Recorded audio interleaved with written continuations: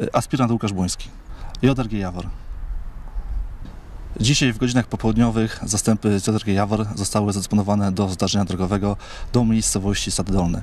Po przybyciu na miejsce zdarzenia pierwszych zastępów okazało się, że w pobliskim potoku znajduje się pojazd, samochód osobowy. Pojazdem tym podróżowały y, dwie osoby. Y, Działania Straży Pożarnej polegały na ewakuacji jednej z osób poszkodowanych z pojazdu. Po przeprowadzonych y, badaniach y, ABC okazało się, że osoba ta mm, y, jest nieprzytomna, brak tętna, brak oddechu. Strażacy natychmiast przystąpili do mm, wykonania resuscytacji krążeniowo-oddechowej. Jednocześnie w tym samym czasie strażacy zajmowali się drugą osobą poszkodowaną. Osoba ta była przytomna, komunikatywa, komunikatywna pod wpływem zdarzenia.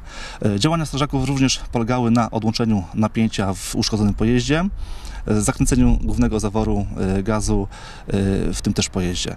W działaniach brały udział y, zastępy ZRG Jawor, zastępy OSP Dolne oraz OSP Dobromierz, radiowozy policji oraz zespołu ratownictwa medycznego.